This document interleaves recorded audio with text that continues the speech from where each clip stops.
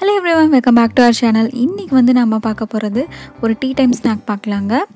எல்லோருக்கும் ரொம்ப பிடிச்ச காலிஃப்ளவர் பக்கோரா வந்து எப்படி செய்யுதுன்னு வாங்க வீடியோக்குள்ளே போய் பார்த்து தெரிஞ்சுக்கலாம்.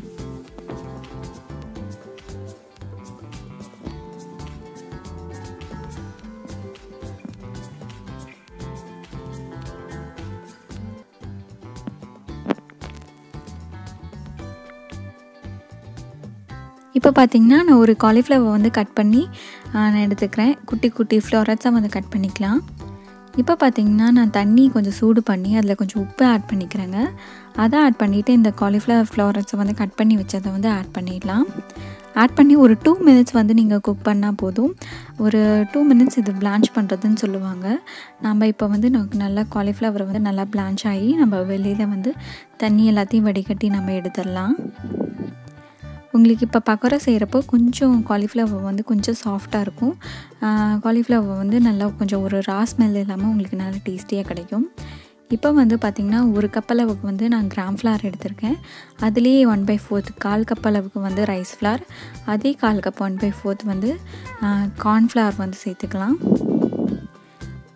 இது எல்லாத்தையும் சேர்த்து ஒரு அரை ஸ்பூன் அளவுக்கு வந்து நான் சில்லி பவுடர் அப்புறம் கொஞ்சம் உப்பு அப்புறம் கொஞ்சம் பெருங்காய பொடி நான் ஆட் பண்ணிக்கிறேன்.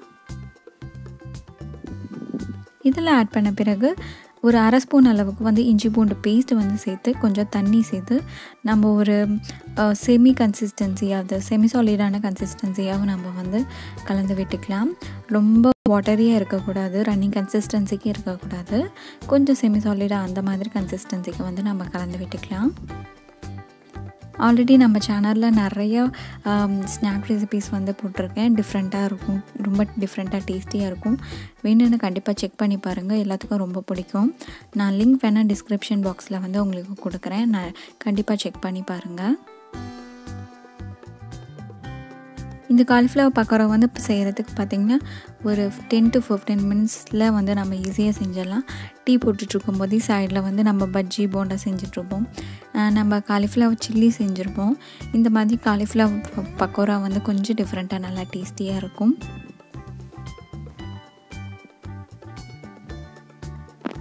இப்போ பார்த்திங்கன்னா மாவு வந்து நல்லா கலந்து விட்டுறேன். இந்த கன்சிஸ்டன்சி வந்து உங்களுக்கு சரியான கன்சிஸ்டன்சியாக இருக்கும். இதுவே உங்களுக்கு போதுமானது இப்போ வந்து நம்ம வந்து காலிஃப்ளவர் வந்து நம்ம சேர்த்துடலாம் இதில்.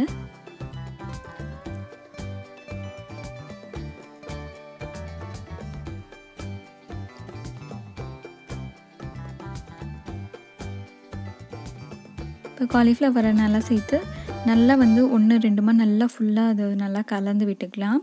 இதை ஃபுல்லாக வந்து உங்களுக்கு நல்லா கலந்து கோட்டாகி ஒரு ஃபைவ் மினிட்ஸ் மட்டும் ஊற விட்டால் போதும். அதுக்கு மேலே ஊறணும்னு அவசியம் இருக்காது. சைட்லேயே நீங்கள் வந்து எண்ணெயை வந்து கொஞ்சம் சூடு பண்ண ஆரம்பிச்சிட்டிங்கன்னா உங்களுக்கு வந்து சரியாக இருக்கும். இப்போ வந்து எல்லாம் ஃபுல்லாக நல்லா கலந்து வச்சாச்சு. இப்போ எண்ணெயை வந்து கொஞ்சம் நல்லா சூடாகிடுச்சு இப்போ மீடியம் லோ ஃப்ளேமில் இருக்கணும்.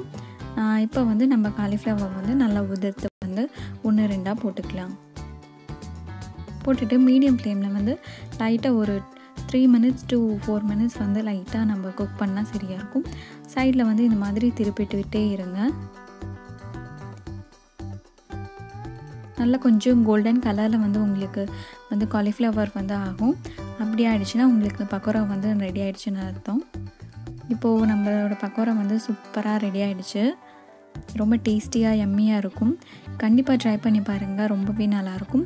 இந்த டிஃப்ரெண்ட்டான ஈவினிங் டீ டைம் ஸ்நாக்கை வந்து கண்டிப்பாக ட்ரை பண்ணி பாருங்கள் ட்ரை பண்ணி பார்த்துட்டு லைக் பண்ணுங்கள் ஷேர் பண்ணுங்கள் மறக்காமல் நம்ம சேனலுக்கு சப்ஸ்கிரைப் பண்ணுங்கள் மீண்டும் அடுத்த இன்ட்ரெஸ்டிங்கான வீடியோவில் சந்திக்கிறேன். நன்றி வணக்கம்.